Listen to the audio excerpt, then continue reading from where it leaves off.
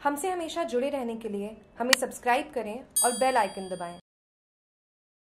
बाड़मेर पहुँची RTPCR machine. शुरू होगी जाँच। बाड़मेर मेडिकल कॉलेज में आरटीपीसीआर मशीन बाड़मेर पहुँच गई है। अब इसे लैब में स्थापित किया जाएगा। इसके बाद 250 जाँच प्रतिदिन करवाने की सुविधा प्रारंभ हो जाएगी। बाड़मेर विधायक मेवाराम जैन ने गहलोत सरकार की सक्रियतम योजनाओं में से एक राज्य की छह मेडिकल कॉलेज में लैब को कोरोना जाँच मशीन से लैस करना था। उन्होंने कहा कि जितनी ज़्यादा जांचें होंगी, कोरोना की वास्तविकता का पता उतना ही जल्द चल सकेगा। साथ ही आस के जिलों को इसका फ़ायदा मिलेगा। जागरूक टीवी के संवाददाता से बात करते हुए मेवाराम जैन, एमएलए बाड़मेर, इन्होंने ये कहा।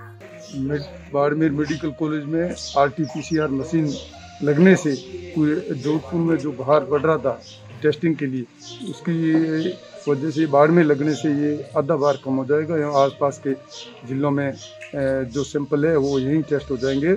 यहाँ कोरोना वायरस से लड़ने के लिए बहुत जनता को फ़ायदा होगा क्योंकि ये तत्काल इसके रिज़ल्ट आ जाएगी। मैं माननीय मुख्यमंत्री जी और चिकित्सा मंत्री को धन्यवाद देना चाहूँगा कि उन्होंने बाड़मेर चुना और बाड़मेर में आवश्यकता थी कि ये लैब और इस पीसीआर मशीन की। और मुझे खुशी इस बात ये है कि अभी जिस तरह से मुख्यमंत्री जी इस कोरोना वायरस से लड़ने की जो तैयारी कर रहे हैं तो जिस तरह से व्यवस्था की है, सब कोई भूखा नहीं रहे, दवाई से वंचित नहीं रहे, पशु पक्षी सबके लिए जिस तरह से व्यवस्था की जा रही है, मैं माननीय मुख्यमंत्री जी को धन्यवाद देना चाहूँगा।